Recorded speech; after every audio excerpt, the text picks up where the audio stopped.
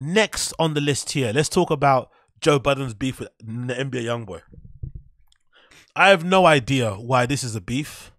It's annoying, it's frustrating, it's dumb, and it really is another reminder as to why music crit, you know, music critique is in the gutter really because this is uh, so uncalled for and so left field. Like, why are they talking about NBA YoungBoy and saying his music is trash? I, again, objectively speaking, maybe you could have an opinion and say NBA YoungBoy's music is trash, but the way Joe Budden brought it up, randomness of it, the flippant nature of it, it's just so unnecessary. Like why he did this, it really is unnecessary, and especially when you consider how emotional, how quick tempered NBA YoungBoy is, how ravenous his fans are, it kind of feels like this is on purpose. He knew NBA YoungBoy fans would go crazy when he said this. He knew NBA YoungBoy would probably say what he said about him, so he said what he said. But I just find this whole thing so unnecessary. And if anything, this is another reminder as to why, as much as it was, a joke, or much as it was a kind of a running joke during the last, you know, iteration of the Joe Budden podcast with Rory and Mal, Joe Budden's label of being a hater is not really a joke. It's actually real. Like he's actually a hater, like for real. He's a legit hater, like for real, for real. Like it's one thing to not like the guy's music, but the way he brought up his name, the contempt in his voice about him, is like pure hater shit. Let's play the clip. What else do I have written down here? Uh, you ready to tell the truth about NBA YoungBoy? Uh, not ready to do this. Uh, what's the truth? That nigga's trash. He's horrible. He is horrible. He is horrible. He is really, really, really, really, really bad. As a rapper or a person? I'm, I don't know him as a person. Oh, okay. I'm only speaking about music. Music. He's really, really, really bad. And that thing happened with him where when he was out, the label pushed a button and did some YouTube shit. So then all the little kids had to just come to the fucking come to the gathering and tell you about NBA YoungBoy views and how great he is and how awesome he is and how amazing he's doing. Now that the label's backed up a bit, and now that we done had about three or four projects while he's been in Utah on house arrest, You've had By the way, that point there was where I realized he was hating.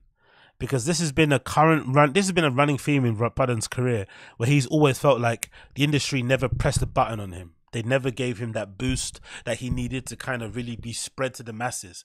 And he feels like there are other people, other artists who at the time when he was around got that button, or even newer kids nowadays, and he still has a little bit of bitterness about it. He still has a little bit of bitterness around seeing people who clearly have an industry push behind them, which again, it's none of his business really because he's a retired rapper. Why does he care who gets marketing push or who gets label support and stuff. It doesn't really matter in the big scheme of things. But that little line that he said there for me was an indication of that kind of little bit of hate that he has there for the industry still and how he hasn't been able to let it go. way more than that. I know. And that's that that I know. that to me is where the I know. problem lies. Because earlier young boy music don't sound like this to me. Like even he just dropped a single today. I listened to it last night and I cut it off midway through. I'm He's just like. I can't What's the difference between his music then and now? shit me, I could hear it. Like That, that's bullshit personally. I think NBA Youngboy's music hasn't gone considerably that bad. If anything, he's put out too much music and it's hard to consume it. But I think NBA Youngboy is doing the same thing that Gucci Mane did when he came out of jail. I remember this iconic interview with Gucci Mane with fucking Charlemagne. Me being a good, a big Gucci Mane fan, I remember the time thinking, man, Gucci Mane's dropping too many things, isn't it? And I can't get through all of it shit. And I think I remember him talking to um, to Charlemagne, and Charlemagne basically asked him that question: Why don't you have more quality over quantity? And he said that my fans love me for who I am. They love my approach to music, but they also want to hear from me all the time.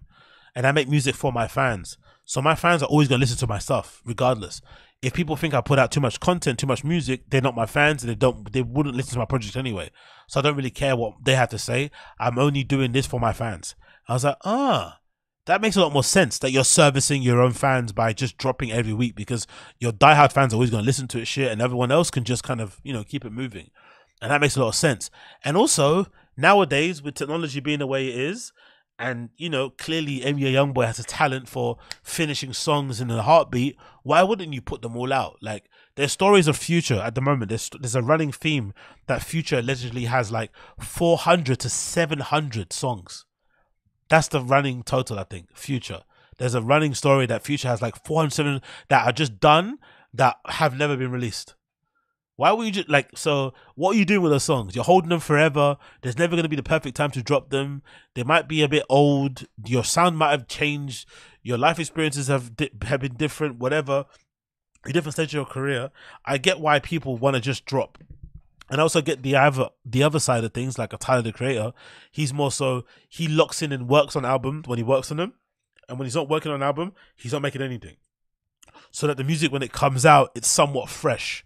I think that's why the Drake album was so good, right? The one that came out with the six tracks, right? The fucking um scary hours, whatever. That was so good because he said, I think in a tweet where he put out that he made that whole thing in like a week or something or two weeks. So it was all fresh. None, none of it was like leftover stuff from her loss or anything else or that ilk. But I just think in general, even if NBA Youngboy's music isn't for you, the way he drops has been the way he drops forever.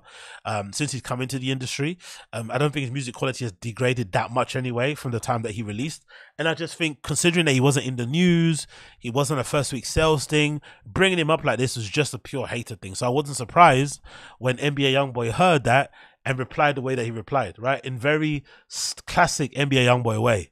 Last thing I dropped was decided to my album still in the top 10. Pussy ass nigga. Don't speak on me. I don't play that shit. Don't rat on me neither, you pussy bitch. Yeah, bubba. I said, want that piece about keeping the old nigga. Stupid dumb bitch. Do your dick don't even get hard no more. Count ass nigga. I love how angry he gets, bro. I love how angry this guy gets. He's fucking incredible. It's like it's like he's sleeping or he's angry. There's no in between emotion. You ain't no ain't no sabotaging me, bitch. Fuck wrong with that nigga, man. Don't rat on me. I'm don't rat on me, bitch. And I don't want to argue with your bitch ass, nigga. Hey, bitch, you do all them interviews. Hey, come on, Grave Digger Mountain and talk to me, nigga. You can't, bitch, if you can't do that, man, hey, you bitch made, nigga. Shut your fucking mouth. Sixty thousand, bitch.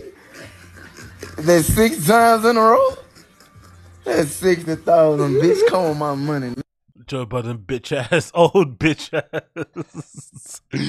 Yo, the fucking aggression from him is so much, man. It's so unnecessary, but I get it. And of course, Joe Budden heard this and he clapped back himself. Joe was clout chasing with that. For No, he's he's a, he's he he his podcast is the number one music podcast. So he's he, I just want to say I'm Oh, who said that in the stream chat? Who said that in the Twitter chat? Who's sucking him off? Yuck, man. Grown men sucking off. But there's nothing worse. Go on Joe Budden's Twitter and see how people reply to him and stuff. Joe Budden's reply guys, and it will make you want to bath in your own mouth.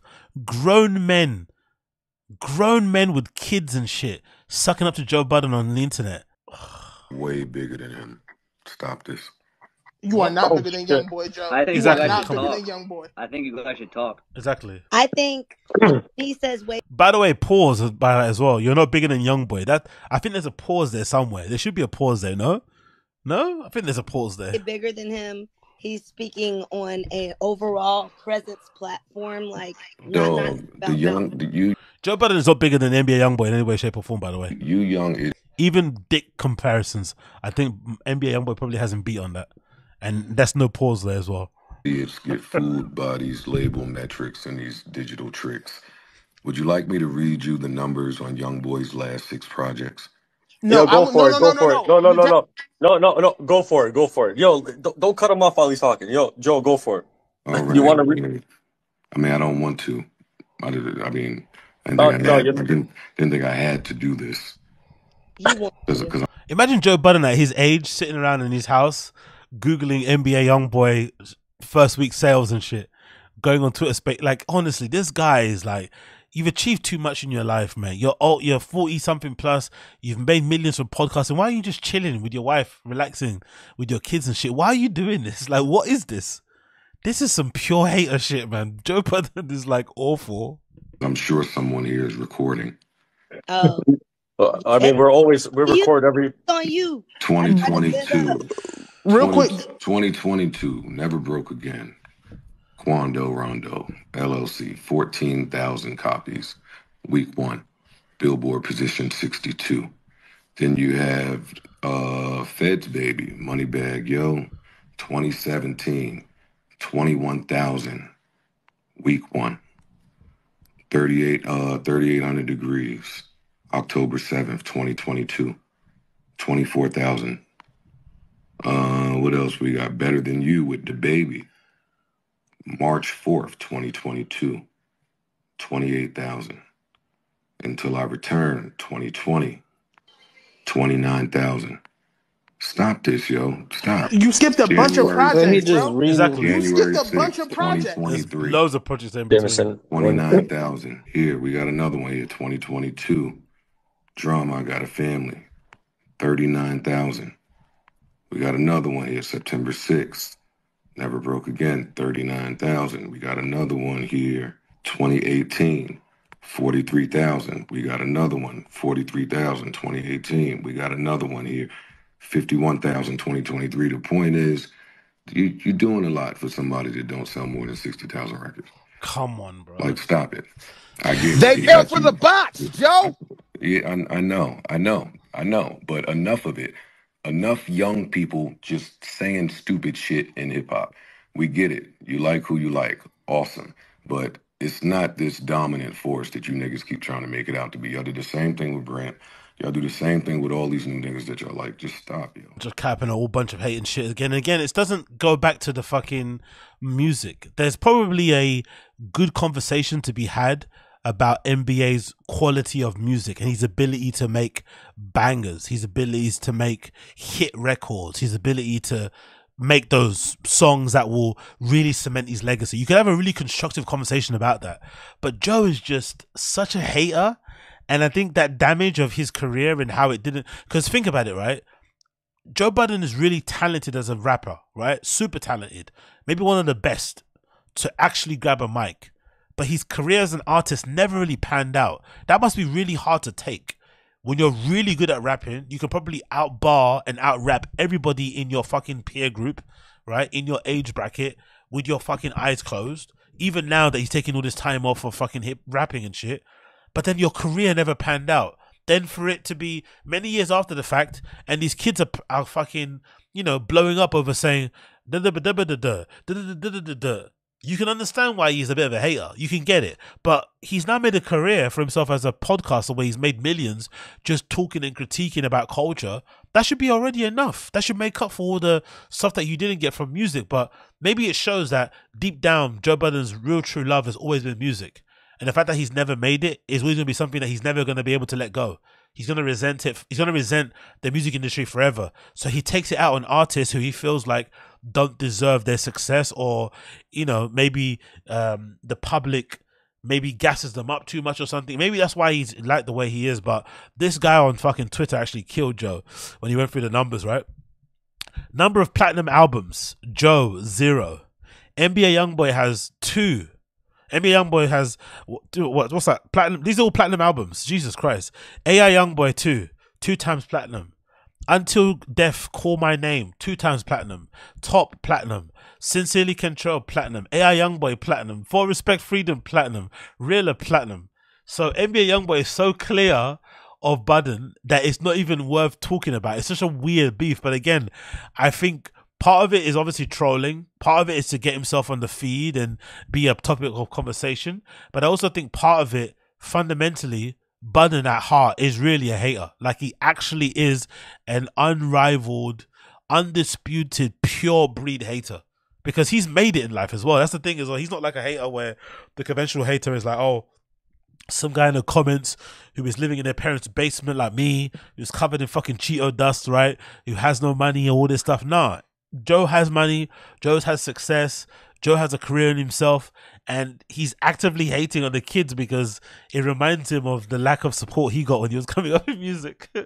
it's fucking funny. I fucking love it, but it's so unnecessary. It really is fucking unnecessary, and I wish it wasn't the case. But yeah, big up um, what's that um Gotham hip hop Joey for fucking laying down a smackdown with those fucking numbers and making it very clear who's on top and who isn't. But let's see what happens. Let's see what transpires. Don't be surprised if you see a, a video piece content with Joe and NBA Youngboy sitting together having some sort of interview because you know maybe that was also the play. Who knows going forward? But yeah, that's a bit of a shame. What can you do?